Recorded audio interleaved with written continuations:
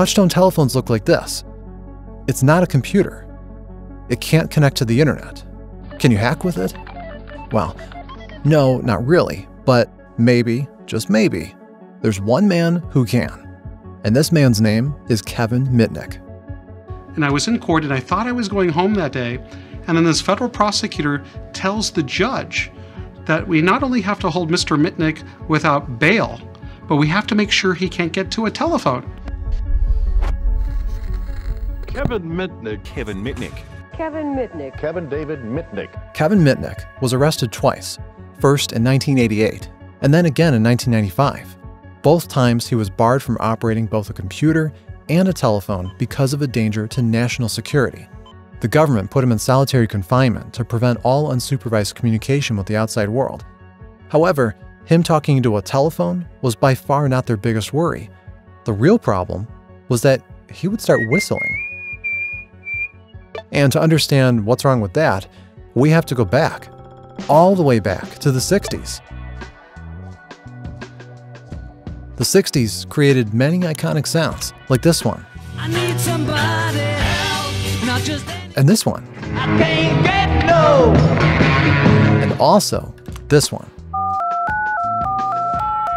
This is the sound of a telephone communicating. It transmits information through frequencies who calls who, where, and so on. For the old phones, these sounds were the only ways to communicate information about the call to the switchboard. So if you have another way of creating these sounds, you can communicate with the switchboard too. And in this way, you can relay a lot more than just the number you want to call. There was a huge, elaborate system of signals used to transfer all kinds of information through the phone lines. Manipulating these frequencies would grant you near absolute control over the system, and the people who harnessed that ability were called phreakers. Phreakers were the original hackers, they used a huge array of gadgets, tools, and tricks to play with the phone lines for fun and for profit. The Captain Crunch whistle. And if you glue this hole right here, like this, that's 2600. One of the things that we used to do is to go to the go to the airport, walk along blowing the whistle next to a bank of payphones, and disconnect their calls. And as the 70s approached, the phenomenon became endemic. There was this understanding that wherever phone lines reach, phreakers can reach too. Schools, hospitals, government institutions, everything was just a call away.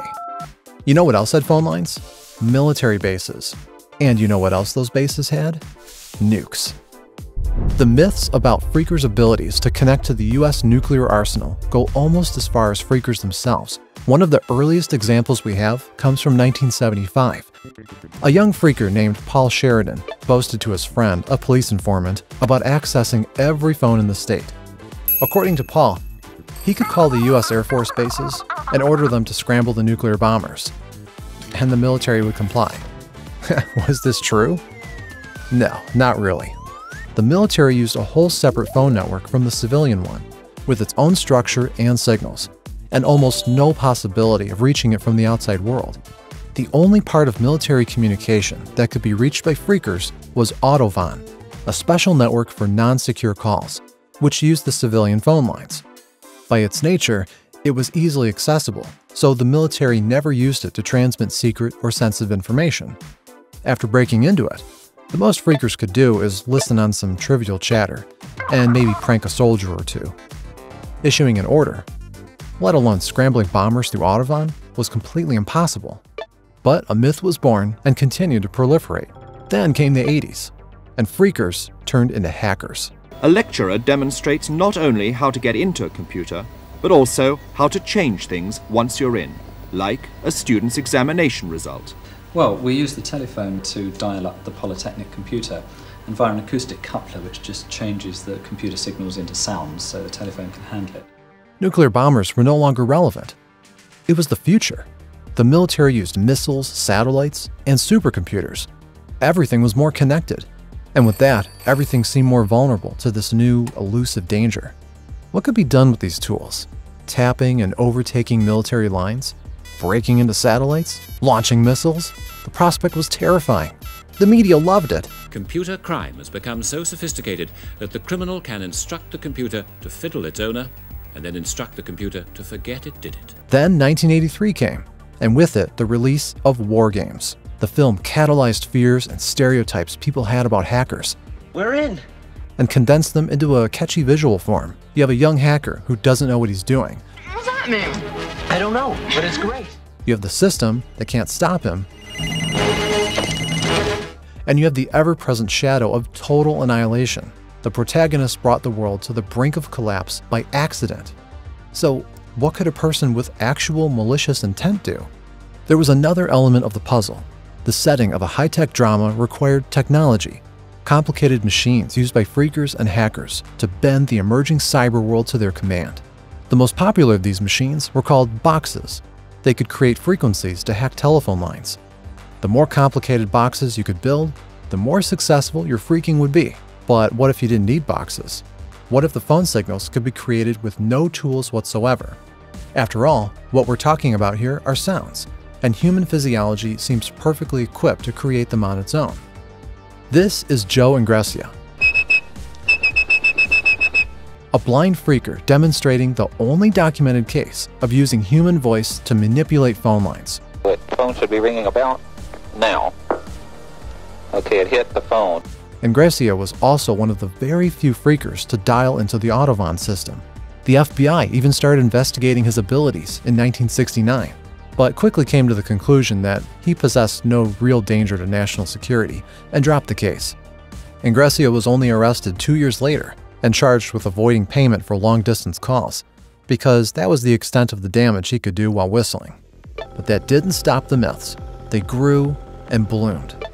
And by the 1990s, they finally gave fruit. Kevin Mitnick was arrested again. Nobody doubted that he was the most powerful hacker in the world. And as such, he combined all the fears people had. Other hackers could whistle to hack through their phones, so Mitnick could too. Other hackers could break into military bases, so Mitnick could too. Other hackers could launch nuclear weapons, so Mitnick could too. And so, when it came time for Mitnick to serve his sentence, the judge was adamant. The man poses a danger like no other. Keeping him in solitary confinement was the only way to prevent the end of the world. So, into the hole he went. And the reason they had to keep me away from the phone is I could pick up the phone and I could whistle the launch codes to start a nuclear war. So, I, am serious. So I, I actually laughed in court. So, this is how two decades of myths, misconceptions, and sensationalized claims converges onto one man turning his life upside down. So I'm under such stringent conditions of supervised release that if I were to touch this computer, I would probably get sent back to federal prison. After serving his sentence, Mitnick used his fame to become one of the best known names in cybersecurity and devoted a lot of work to breaking the same myths that made several crucial years of his life into such a miserable experience. Unfortunately, a lot of such myths are still around and continue to take a toll on human lives. Here at Cyber News, we try to shed light on them, and you can help us.